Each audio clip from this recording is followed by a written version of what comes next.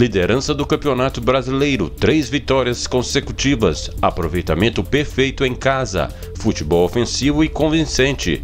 Apesar do excelente momento do Atlético, o técnico Jorge Sampaoli frisa repetidamente: é apenas o começo de um processo e o time precisa melhorar. Depois da vitória desse sábado por 3 a 1 sobre o Grêmio, o argentino mencionou quatro aspectos em que a equipe deve evoluir se quiser ser campeão nacional. Ainda no começo da entrevista pós-jogo, Sampaoli pontuou a necessidade de o ataque ser mais eficiente na hora de concluir as jogadas. Detalhe: o Atlético tem o melhor ataque do Brasileirão, com 21 gols marcados.